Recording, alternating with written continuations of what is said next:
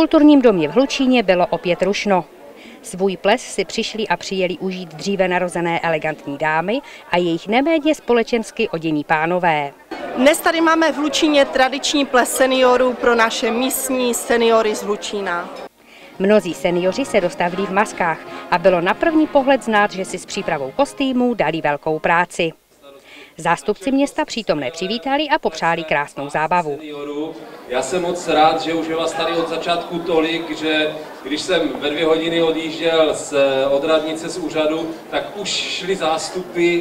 Říká se, že kdo si hraje nezlobí a seniori, když se baví, tak taky nezlobí a dělají si jenom radost, protože si můžou krásně užívat ten svůj seniorský věk. Já jsem moc rád, že my tuhle tu akci jako město pro seniory naše eh, můžeme pořádat a už hned tady od začátku je opravdu plno, takže jde vidět, že mě byl velký zájem o tento ples a že lidi se chtějí bavit. Hudební seskupení se po celé odpoledne hudebně staralo o své hosty a z pódia servírovalo známé hity mnoha interpretů a hudebních kapel.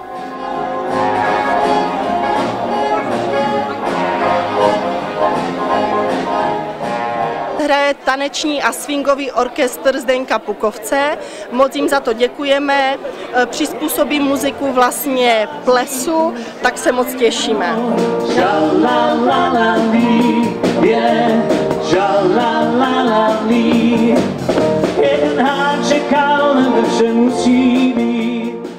Zájemci neváhali a brzy zaplnili taneční parket. Zájem o ples byl velký, pozvání přijali více než dvě stovky hostů. Je tady přes 230 seniorů, vidíte sami, že vlastně veškerý prostor je úplně zaplněn. E, mají bohaté občerstvení, teplou večeři a symbolické vstupné 100 korun. Součástí plesu byla rovněž velká tombola, která v sobě ukrývala hodnotné výherní ceny. Do tomboly věnovali ceny například Svaz tělesně postižený Hlučín, Muzeum Hlučínská, Sport a kultura Hlučín, Drogerie Pašek a samozřejmě nejvíce cen věnovalo město Hlučín. Chtěla bych moc poděkovat všem, co se vlastně do organizace Plesu seniorů zapojili.